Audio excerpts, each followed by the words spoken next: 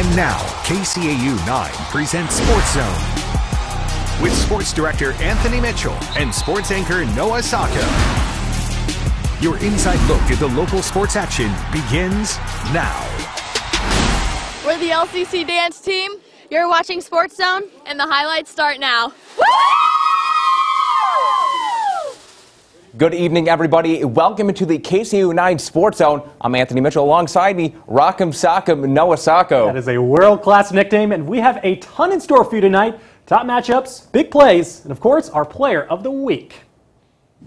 But first, we'll start off our night with our Sports Zone game of the week taking place in the state of Nebraska, featuring two Class D1 undefeated squads, the Plainview Pirates and the Laurel Concord Coleridge Bears. Both teams coming to this one averaging over 33 points per game in their first two contests. Second quarter, Bears on the Pirates' five yard line. Dylan Taylor keeping it himself on the triple option, and the extension gives him the touchdown. LCC strikes first 8 0. Elastigirl. Plainview had a response. The ensuing drive, Jackson King gets the call up the gut. He answers. No two point conversion, though, making it an 8 6 game.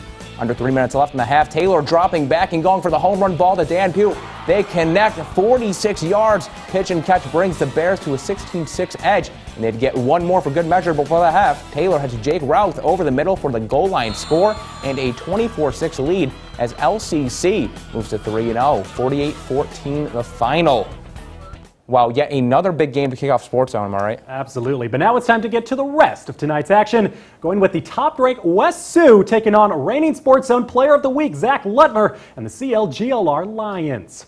It was a battle of undefeated teams at Rock Rapids tonight. Lions won last year's matchup by a landslide. No score in the first. The Iowa commit Zach Lutmer tossing it over to a wide open Isaiah Johnson. He strolls into the end zone. Lions up early, 7 to nothing. Later in the first, Lutmer back in the shotgun. He'll dump it off for Grant Even. He gets the edge and he's got a full head of steam all the way down inside the 20 for a 34 yard gain. And then moments later, the Lions, a few yards outside of the final painted line, they give it back to Eben, and he's in for six more. Central with a 14 point advantage. In the second quarter, Lutmer right back to work, this time wow. dropping an absolute dime into the hands of Reese Vanderzee. A CLGLR stays perfect on the year, 44 6, the final.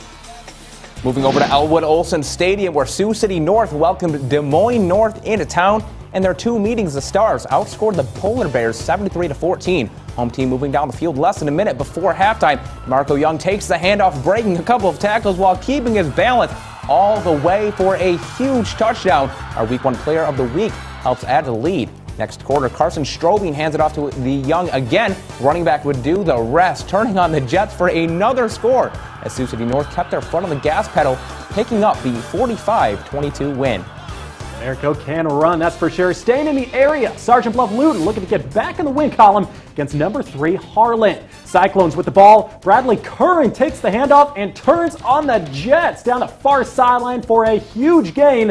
What a start for the road team as he's pushed out there. That helped Harlan get to the one yard line where Tegan Bauer takes it himself for the score. Cyclones strike first. Warriors looking to respond though. Xavier Ellington takes it up the middle for a nice gain, but the home team not able to score. Later, Bauer looking deep and he connects with Kate Sears for a TD as Harlan defeats SBL 42-14. At Northwestern, number 8, MOC Floyd Valley taking on Storm Lake. Dutchman only allowing one TD thus far. He'd get things going with a Storm Lake fumble recovered by Jackson Mulder at the 35. He plays later at MOC Floyd Valley with an early touchdown from Carson Yeager with a 14-yard TD. Dutchman up 6-0. Check this out. After three penalties on MOC Floyd Valley, take a look at this return. Aiden Klein brings the ball up 70 yards, breaking ankles in the process. Soon after, Braden Conch catches in for the touchdown, adding a two-point conversion, and the Dutchman up 14 zip as the Dutch win it big 41 0 and then to Moville, number three Woodbury Central looking to continue their way up the rankings. They take on IKM Manning.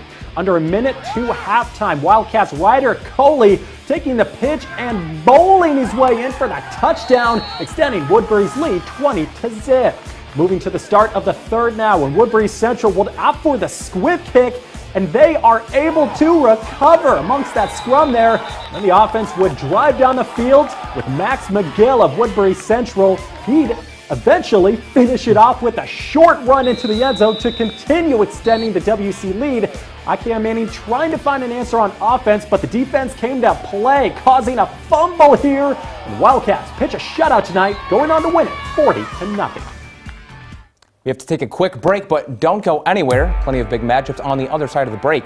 Plus, who is going to win our Player of the Week award? Some great candidates in our remaining games. Stay in the zone. We're the Kingsley Pearson Panther cheerleaders. Don't go anywhere. Sports Zone will be right back.